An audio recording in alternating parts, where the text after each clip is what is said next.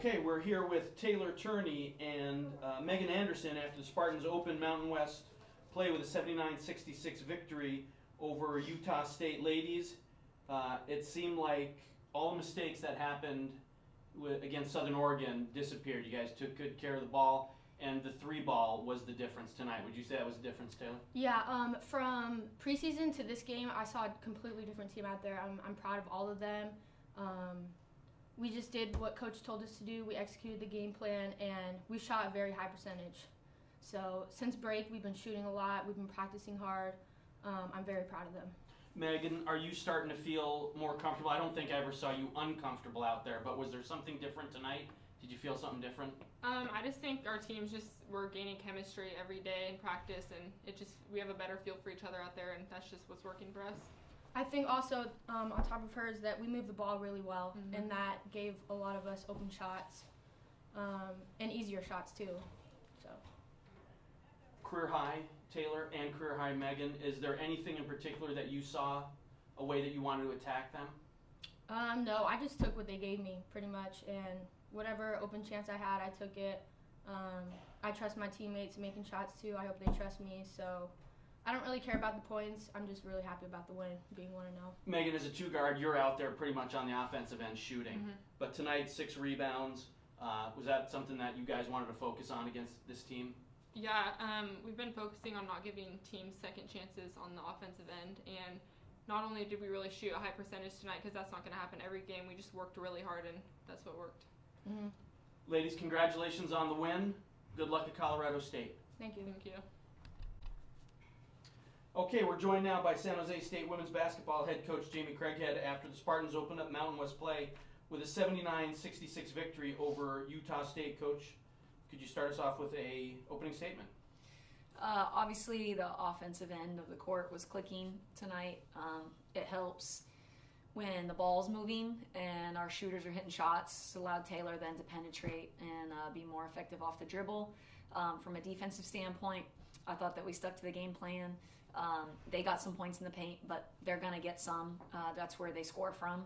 Um, but for the most part, I really thought that uh, we executed the game plan defensively as as well as we've executed a game plan in a long time, and we played the hardest we've played in a really long time. And we talked about that before the game. If you don't play hard in this conference, you're going to get beat every night. Second quarter seemed to be the difference. The game was close. Other than that, what was the difference in the second quarter? You outscored them by 10. Uh, we just got on a run. Um, our our defensive pressure bothered them in that quarter. I think that's where we got our most turnovers and kind of sped them up, even if we didn't get a turnover. Um, obviously, the fouls in the set, in the third and fourth quarter kind of helped them, and I thought it, it allowed us not to really push the lead out to you know maybe 20, 25. Um, but I, I think for a young group to know that we went on that 10-0 run really early in the game and we didn't give it up, um, we, we, we could have easily. Uh, so it was good, and it was a good learning experience for us how to how to finish out a game when you have a double digit lead. Like how, how do you got to play? And I thought we took a shot we shouldn't have. Um, when Maya got that breakaway, I probably would have just wanted her to dribble it out. But at the same time, it is a breakaway. My eyes where she picked it up in the corner. I want her to keep just moving the ball. But uh, when you're not winning a lot of games, you don't get to win in those or figure that out in those situations. So it was just good. It was a good way to start the conference. Um, this team has some goals and uh, it's the best way to start. And now we get to go to Colorado State. I was gonna say, I mean, just on obviously happy with the win, but how much happier or gratifying is it that your team scores 80 points?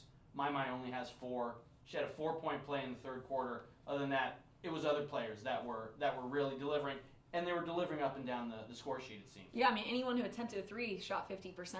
Um, so that was big. It's just when we got back from break, we just been preaching ball movement, and um, we have to get more people involved. And uh, Megan obviously got the ball in her hands a few more times tonight and was able to get some open looks.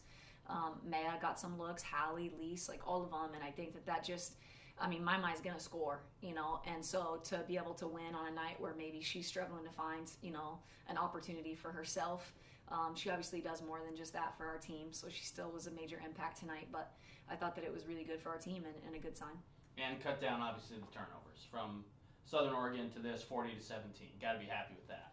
Yes, um, you know, I thought that we probably should have only had about 12 turnovers tonight because we were just um, just lazily passing sometimes, you know, and that's youth. It's like they don't r- realize that everybody's going to keep playing every possession, and so we can get better at that. But obviously, um, you have to have the ball in order to win. So it was, it was good that we limited our turnovers. Coach, congratulations on the opening win. Good luck at Colorado State. Thank you.